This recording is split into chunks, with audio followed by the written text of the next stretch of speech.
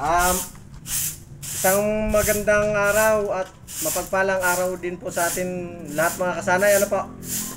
Eh, gawa po ng hindi ko po na video yung mga nakaraang ginawa nating ah, pag-espalto, pag-waterproof dito sa roof deck.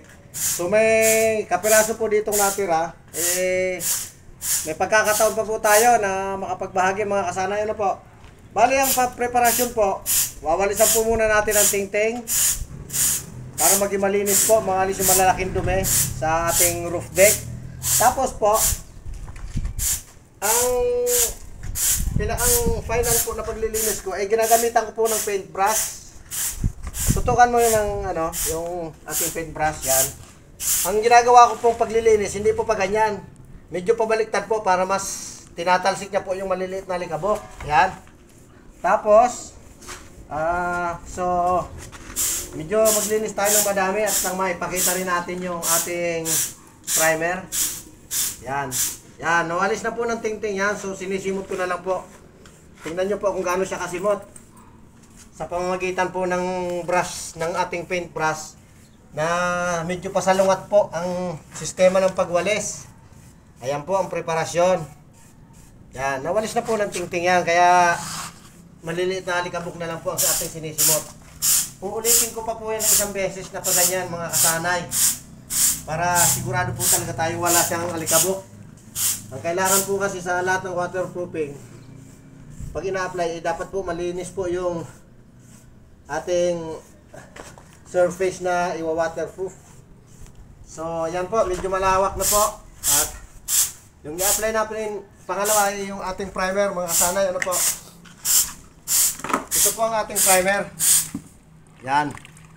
Yan, yan po primer ng sa pag-aspalto. Bali, ipapay po natin yung sa nalinis natin, sa pinakamalinis na area. Ayan. So, pwede nating pwede nating tansyahin ng buhos. Mga kasanay, kung, kung medyo nagmamadali. Yan. Tansya-tansya lang po. Kailangan po wag natin maabot itong itong area na hindi pa natin nalilinis. Ito po eh, kaya gumawa pa lang po ako ng kapiraso para may bahagi ko po sa inyo kung paano. Hindi na po muna ako maglalawak at tatagal po ang ating video. So, yung, eksaktong nalinisan ko lang po, yun ang lalagyan natin. Ayan po, mabilis po yan matuyo, mga kasanay. Ayan. Yan po ang ating primer. At yung primer naman po, kailangan, wala po siya makikitang pader talaga. Babalikan po natin ang ating paglalagay. Ako po ay gumamit na ng tambo para mas mabilis po. Mas marami tayong magagawa. So, ayan po. Ito yung pinakang gilid ng ating nalinis. Sasaktuin lang po muna natin dyan. Ayan po. Ito na po yung ano yan mga kasanay. Yung ipinahid natin kanina. Na medyo nauna dito. Ito po, ipinakita ko lang sa ating mga kasanay na ito, ganito yung proseso. Kung paano po ito nangyari, ganun din po ang nangyari dyan kanina. So, since ah, tuyo na po siya, pwede na po natin siyang lagyan. Ah, kasanay na Raul, ah, lagyan mo nga itong ano, lagyan mo na nga ng ating nilutong asfalto yung ano. Yan. Yan po, nagputol po tayo ng drum para gawin nating lutuan. Pakita mo doon, kasanay na Raul. Paano? Kailangan po lutong-luto at ganyan po, oh, dapang-dapa.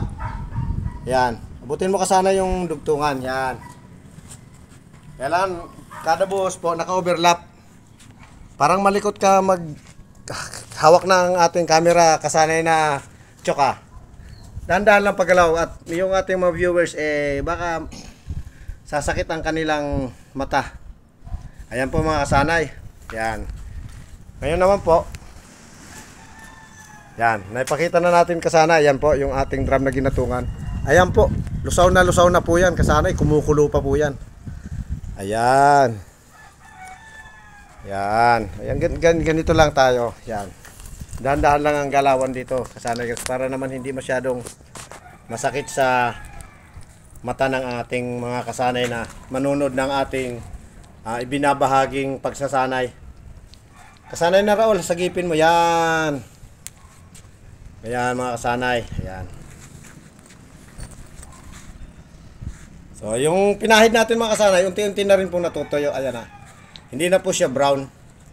Ah, uh, itim na po pag natutuyo. Ayan na po.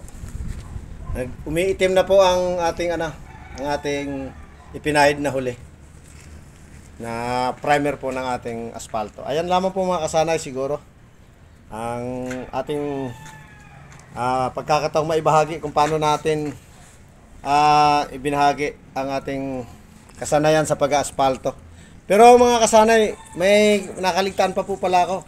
Kailangan po pala ay siguraduhin natin tuyong tuyo ang ating ah, papahiran ng primer, malinis, tuyo at ah, kailangan sa pagpahid po ay walang nakikitang mga ah, semento po o pa, na bahagi po ng slab na nakalitaw. Kailangan po talagang maitiman natin lahat ng area niya para po sigurado na yung asfalto ay sa kanya po nakapatong, hindi po yung, nakaspa, yung asfalto nakapatong sa slab. At may posibilidad po siyang mabakbak yan. Pero pagka ganyan po, eh sigurado na po yan mga kasanay ang ating ano, ang ating trabaho. Garantisado na po yan kahit itaping na po natin yan. After na tumigas yung ating asfalto. Yun lamang po muna mga kasanay, ayun po ang aming na asfalto na.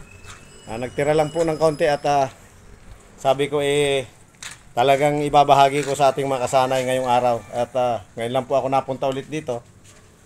at ako'y may ginawa personal din po sa aming bahay. So kahapon po eh wala ako. So ngayon lang po nagkaroon ng pagkakataon na makapag-video tayo ng ating pag-aasfalto. So nagtira po talaga ng kapiraso para lang po sa ating mga kasanay. Halos tapos na po yan mga kasanay. Oh. Ayan na lang po ang natitira. Ayan. Ayan. Ayan na po yung gilid yan. Ayan, tapos na po yan. Halos. Kaya nagtira lang po talaga para sa ating ah, pag-video sa araw na to para maibagi sa ating mga kasanay.